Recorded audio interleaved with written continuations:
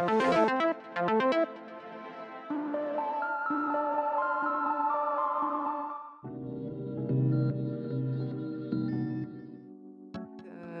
ma mission, en fait, elle est de mettre en connexion les entreprises entre elles pour éventuellement euh, parler de leurs problématiques, parce qu'elles ont souvent les mêmes. Donc euh, je les réunis afin qu'elles en parlent et aussi euh, j'essaie de les résoudre par des connexions juridiques parce que je connais pas mal de juridiques dans la mode. Ensuite aussi pour les, informer sur les nouvelles les accords de branche au niveau du gouvernement. Donc je fais le lien entre la profession je dirais, euh, oui, on dira ça comme ça, gouvernemental et euh, le terrain. En fait, voilà, c'est mon rôle.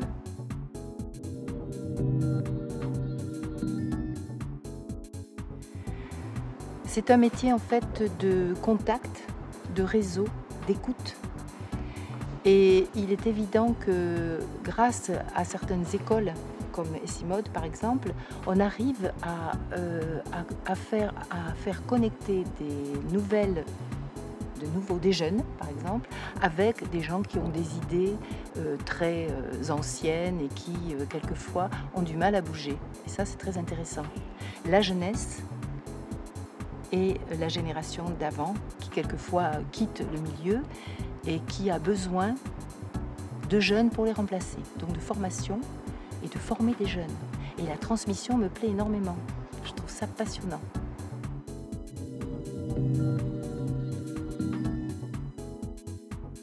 Alors, quels conseils je pourrais leur donner? D'abord d'être très rigoureux. Parce que c'est un métier, on dit c'est le métier de l'art artistique. Oui. Mais il ne faut pas oublier qu'il y a aussi un besoin de rigueur. Parce que si vous n'avez pas de rigueur, dans la création, vous pouvez aller dans tous les sens. Donc le conseil que je peux leur donner, c'est la rigueur.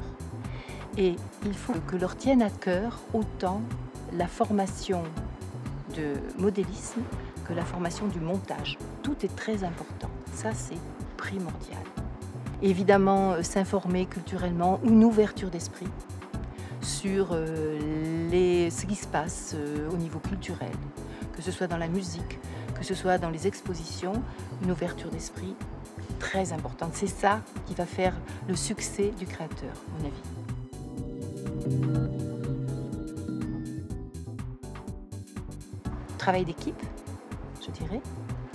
Je dirais aussi euh, un sens, euh, un sens euh, très fin de l'environnement et les critères de comment, on pourrait dire, vous savez, d'adaptabilité. Parce que vous arrivez avec vos idées, vous arrivez, vous êtes employé dans une entreprise, et heureusement, je trouve que cette école le fait très bien. C'est-à-dire que quand un stagiaire vient dans une entreprise, il doit écouter ce que veut le chef d'entreprise et surtout faire euh, suivre l'idée de l'entreprise. Si elle a un style particulier, il faut essayer de le respecter. Donc le respect, l'écoute, l'adaptabilité.